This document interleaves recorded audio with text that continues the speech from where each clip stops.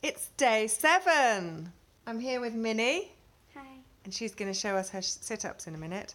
Um, so, today's challenge on day seven is 20 sit ups, 20 second plank, three wall squats, um, one TED talk. If you don't know what a TED talk is, go onto YouTube and type in TED talk, and they have talks on pretty much every subject that you might need to. And just watch a TED talk on YouTube. Um, they're free to watch and they're really inspiring. Um, five minute meditation.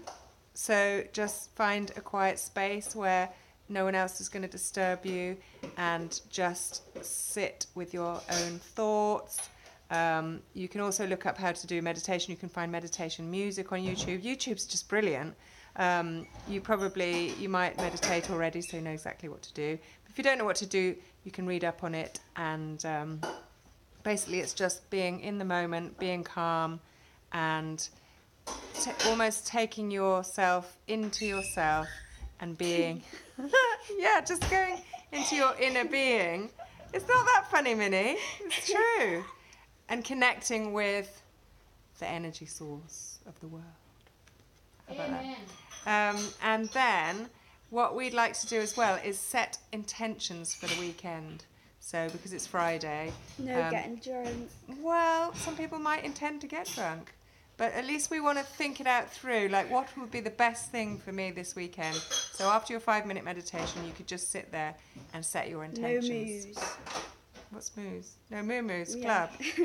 no. So how do I turn this round so that I can film you doing your sit-ups? Hold on, we're Oh. still filming. Oh. What are you doing? I don't think your phone can do it. I don't think. so. Okay, so I'll have to do you like this. I'll just hold it like this. You could do your sit-ups now. Okay. Okay. So is that the correct way to do them then? Two. Yes, I think so. With your hands by your head. Yeah. Three, four, five, six. Doing well. Seven, eight. Are you going to need a break? No. Nine. Ten. Eleven. Could get a bit boring for the viewer. Twelve. Thirteen. Fourteen. Fifteen. You can predict what's going next. Sixteen. Seventeen. Eighteen. Nineteen. and twenty. There we go. That's today's challenge. Hope you do well.